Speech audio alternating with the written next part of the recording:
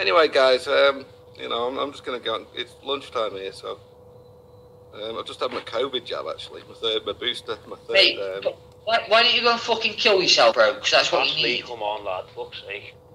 actually, fucking say go, man. Ash.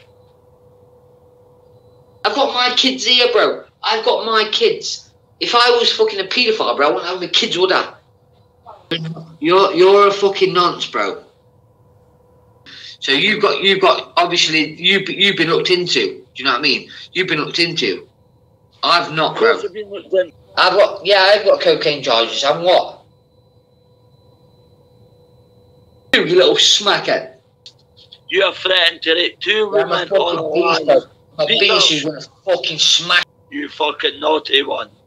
People have reported you to the police and social I'll just, workers. delete, I'll just delete everyone, bro. I'll just delete everyone on here.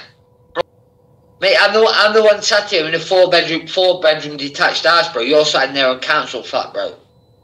You're a mug. You're a mug, bro. You're a smackhead.